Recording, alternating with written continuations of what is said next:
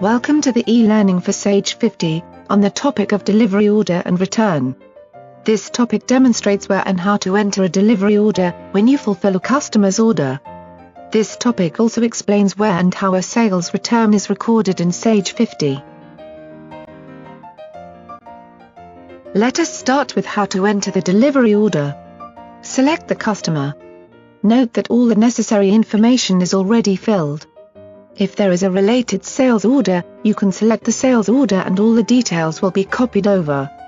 You can specify the delivering location of the items.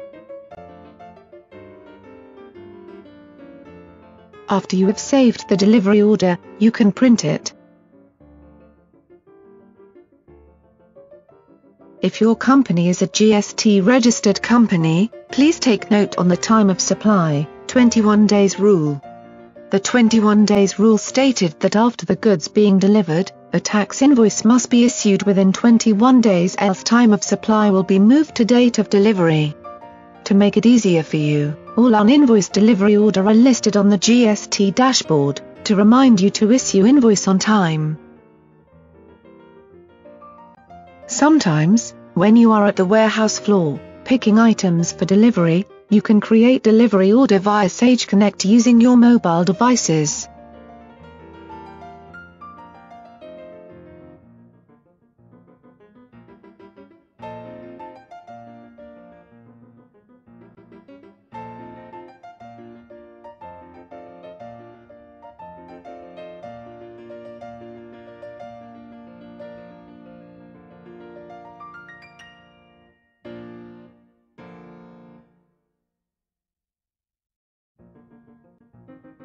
When selling merchandise to customers, unfortunately sometimes things don't go quite as planned. Occasionally, customers may return items of inventory for various reasons.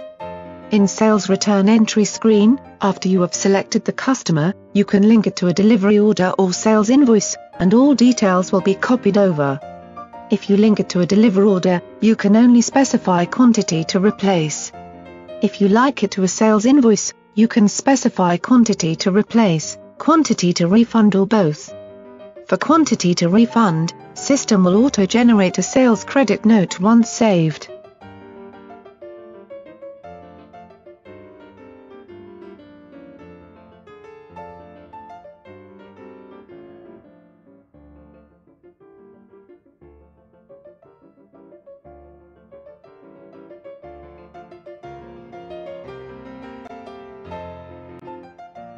Thank you, and have a nice day.